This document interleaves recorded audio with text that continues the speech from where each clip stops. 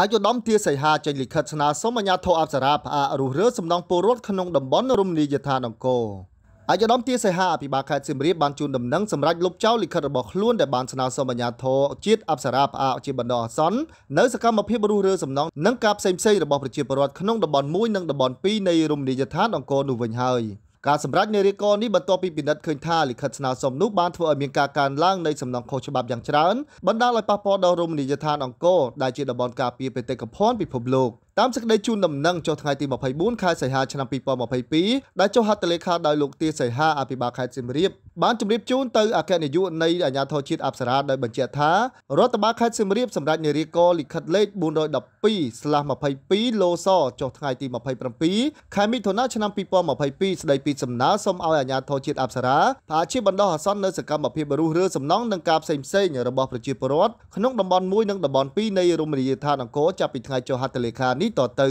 សូមបញ្ជាក់ថាកាលពីថ្ងៃទី27ខែមិថុនាឆ្នាំ2022កន្លងទៅរដ្ឋបាលខេត្តសៀមរាបធ្លាប់បានធ្វើលិខិតស្នើសុំមួយទៅកាន់អគ្គនាយកនៃអាជ្ញាធរជាតិអប្សរាដោយក្នុងលិខិតនោះរដ្ឋបាលខេត្តសៀមរាបបានស្នើសុំឲ្យអាជ្ញាធរជាតិអប្សរាផ្អាកជាបណ្ដោះអាសន្ននៅសកម្មភាពរុះរើសំណង់នឹងការក្នុងតំបន់1និងតំបន់2នៃតំបន់រមណីយដ្ឋានអង្គរ ក្នុងលិខិតនោះក៏បានស្ដីបន្ទោសថាកន្លងមកបញ្ហាសំណង់ដែលប្រជាពលរដ្ឋបានសាងសង់ក្នុងតំបន់1និងតំបន់2នៃរមណីយដ្ឋានអង្គរតែងដាក់ពិភាក្សាក្នុងគណៈកម្មការចម្រុះដើម្បីសម្របសម្រួលការប្រើប្រាស់ដីធ្លីការទប់ស្កាត់សំណង់ខុសច្បាប់និងរៀបចំសម្ដាប់ធ្នាប់នៅតំបន់រមណីយដ្ឋានអង្គររវាងរដ្ឋបាលខេត្តនិងអាជ្ញាធរជាតិអប្សរាដើម្បីពិនិត្យពិភាក្សានិងសម្រេចផ្សេងៗ ប៉ុន្តែក្នុងកំឡុងពេលនិងក្រោយពេលបោះឆ្នោតជ្រើសរើសក្រុមប្រឹក្សាគុំសង្កាត់អាណត្តិទី5ឆ្នាំ2022នេះអាជ្ញាធរជាតិអប្សរាបានចូលអនុវត្តការងារដោយពំបានពិភាក្សាគ្នាឲ្យច្បាស់លាស់ក្នុងកិច្ចប្រជុំគណៈកម្មការចម្រុះដើម្បីសម្របសម្រួលការប្រើប្រាស់ដីធ្លីការទប់ស្កាត់សំណង់ខុសច្បាប់និងរៀបចំសណ្ដាប់ធ្នាប់នៅតំបន់រមណីយដ្ឋានអង្គររវាងរដ្ឋបាលខេត្តនិងអាជ្ញាធរជាតិអប្សរាទេ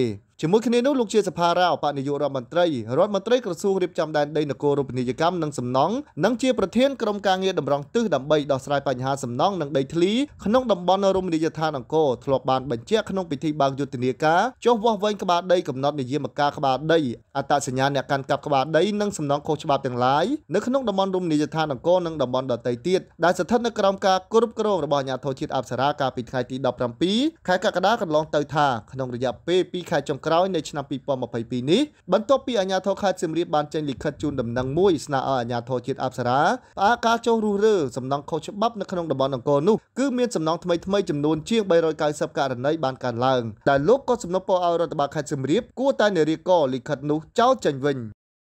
នាំមកជូនលោកអ្នកដោយក្រុមហ៊ុន RS Rival Marketing Cambodia សម្ផស្សសុខភាពឧត្តមភាព Dream Firmix 3 មិនចាក់ មិនលេបមិនវះកាត់គ្រាន់តែលាបប៉ុណ្ណោះ